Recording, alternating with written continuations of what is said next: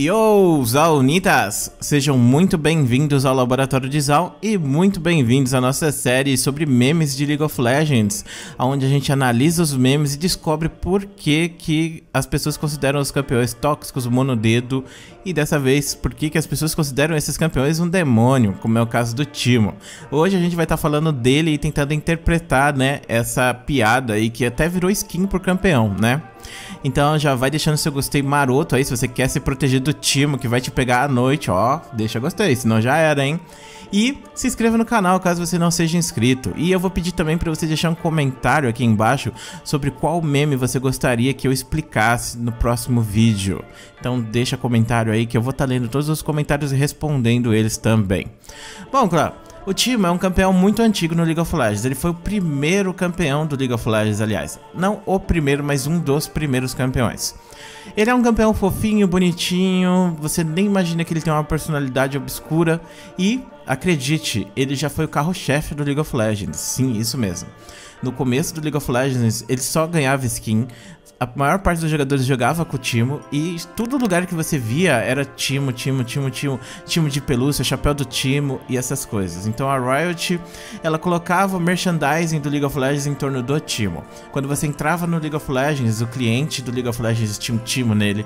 Quando você ia entrar naquela parte, sabe, de logar, é que tinha uma parte antes, né, que colocava o servidor tava on ou off. Então tinha um Timo lá também dizendo se o servidor tava online. Então o Timo era o principal campeão do League of Legends, basicamente. Todo mundo via League of Legends e ligava diretamente ao Timo.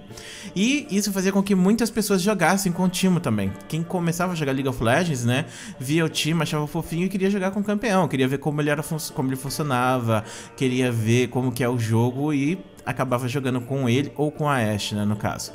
Então, o time ele já foi o campeão mais jogado do League of Legends por muito tempo, de verdade.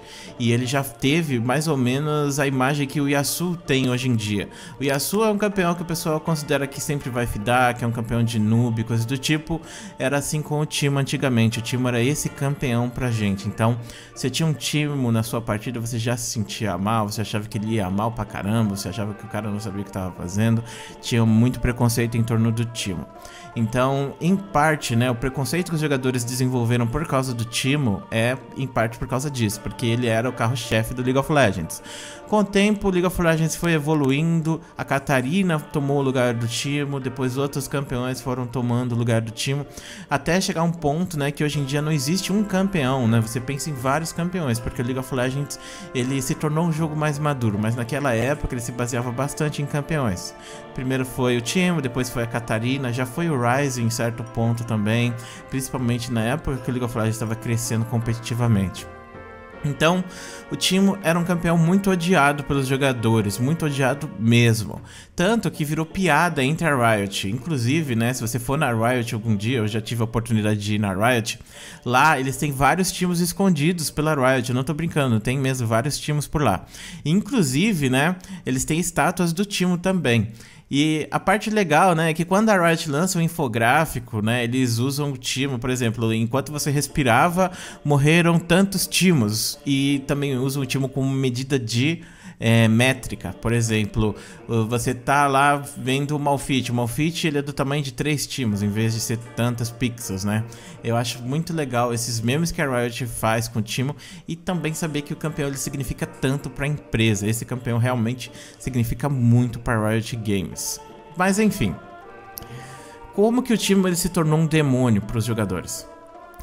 Primeiramente, você tem que saber que o time ele tem uma história muito bizarra.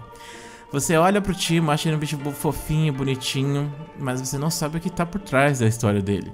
Antigamente, a história do Timo era pior ainda. Eles tiveram que mudar a história do time, eu imagino que. Porque entrou muitas pessoas do League of Legends que queriam jogar com o time e acabavam lendo a história do campeão, acabavam ficando muito surpresas. Porque ele tem uma cara fofinha, mas por dentro ele é um psicopata, ele é um matador. Exatamente isso que você ouviu. E eu acredito que eles quiseram fazer isso justamente para ser um contraste, né? Você acha que esse bichinho fofinho é legal, mas na verdade não. Ele é um assassino cruel. E na história do, do time atual, você pode ver resquícios disso, dessa época que ele era mais obscuro. Vou ler aqui um pedaço para vocês. Ele demonstra e aproveita o companheirismo de sua raça ao mesmo tempo em que insiste em ir sozinho para missões de defesa. Embora tenha uma personalidade acolhedora, há algo em sua mente que desliga durante os combates para que a sua consciência não pese com as vidas que ele tira. Então, o Timo, ele mata bastante pessoas, ele é um assassino cruel e impiedoso, ele desliga a cabeça dele. E isso meio que traz esse ar dark pro campeão. E com o tempo, League of Legends foi evoluindo, a fanbase também foi evoluindo junto com ele e criaram histórias né, paralelas para os campeões. Um exemplo é a história né, que tem do Zed junto com a Syndra, que é maravilhosa. Se você não leu essa história, eu vou deixar o link para você ler. Sério, leia essa história. Tire aí uma ou duas horas do seu dia para ler essa história, porque é uma das melhores histórias que eu já li de League of Legends. Mas enfim. Então as pessoas começaram a fazer creepypasta, que é uma história de terror com o campeão. Então eles pegavam o Timo, faziam imagens bizarras dele, começavam a mostrar mais esse lado obscuro do campeão. Foi aí que tudo começou, né, a ligar o Timo ao capeta. Então esse meme começou a surgir na comunidade de League of Legends americana. E isso foi se espalhando para o resto do mundo também. Muitas pessoas diziam que o Timo era o capeta, o demônio, essas coisas assim. E isso foi pegando, até chegar um ponto, né, que você você consegue ligar aquela frustração que o jogador tem por jogar contra o time e jogar com o time no time com essa coisa do demônio também. Esse meme, ele ficou muito popular aí há uns dois anos atrás, sério. Por quê? Porque o Timo, ele é um campeão que ele já foi muito bom, e aí eles nerfaram demais ele e ele acabou ficando como um dos piores campeões do League of Legends, um campeão que é super desatualizado. Então, teve uma época que a Riot meio que tava voltando com o Timo, né? E aí as pessoas começaram a jogar de novo com ele, e as pessoas começaram a se frustrar muito jogando contra ele, porque o cogumelo dele dava muito dano, você acabava morrendo só pra um Q, e sufocamento Igno era muito OP nesse campeão, ele era um campeão que virou top pick, e aí o pessoal começou a botar os olhos de novo no time. E aí o pessoal começou a ver esse lado negativo do time.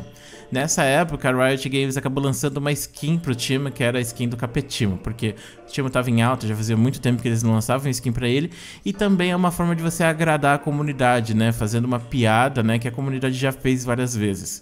Então a Riot meio que pegou, né, o Timo e literalmente, né, disse que realmente ele é um capeta.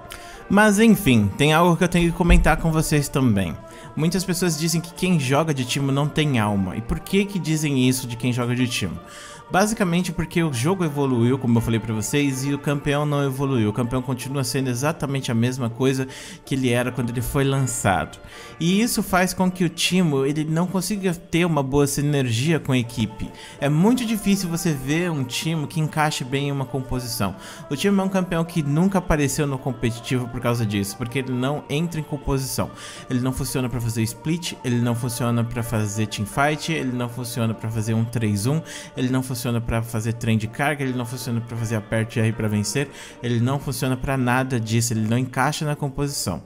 E o que, que ele faz? Ele destrói a rota, ele bota muita pressão no começo do jogo. Então dizem que o time não tem alma justamente por causa disso, porque o cara que joga de time, ele não tá pensando em ajudar o time dele, ele não tá pensando em jogar com o time, ele tá pensando em destruir a rota topo e atrapalhar a vida do cara, né, e depois perder a partida por causa disso. E teve uma época que era realmente assim, o time ele ganhava o começo do jogo e perdia depois. Igual o Pantheon também já teve uma época assim. Chegava a 20 minutos de jogo, os dois campeões deixavam de ser úteis e perdiam o jogo basicamente. Então, quem joga de Timo, né, tem esse estigma de não ter alma, justamente porque o campeão, ele não ajuda, ele não traz nada pro seu time. Por quê? Porque ele não foi atualizado. League of Legends evoluiu, o meta evoluiu e o campeão ficou no mesmo lugar. O Timo é um dos campeões que, na minha opinião, mais merece um remake dentro do LoLzinho. Então, a Riot viu, né, que primeiro, achavam que os jogadores que jogavam de Timo eram pessoas que estavam querendo ver o circo pegar fogo. Segundo, eles viram que a comunidade considerava o campeão um pequeno demônio, até porque eles mesmos escreveram o campeão para ser isso, né? É um campeão fofo por fora, mas por dentro bem obscuro. E terceiro, né, eles viram que os jogadores eles tinham essa angústia por jogar com o campeão porque ele era basicamente o Yasuo. Antes do, do Yasuo era o Timo, que era o campeão considerado tóxico. Você junta tudo isso e você cria um meme. E esse meme, ele foi, né, legitimado pela Riot depois na skin do Capetimo. Eu acho bem legal, né, tá vendo o passado do League of Legends, porque é legal quando a gente começa a ver que hoje em dia, por exemplo, a gente tem uma ideia fechada das coisas, mas quando a gente volta atrás, a gente nunca imaginaria que aquela piada que a gente fez algum tempo atrás, porque a gente estava frustrado com o campeão, ela ia se tornar uma realidade um dia, sério, de verdade. Porque, pô, tem uma skin do Capetimo, né? Eu espero que você tenha gostado desse vídeo, deixa gostei maroto, se inscreve no canal e não esquece de deixar o seu comentário pedindo o próximo vídeo dessa série que eu quero saber o que você gostaria de ver aqui. Beijos e até o próximo vídeo.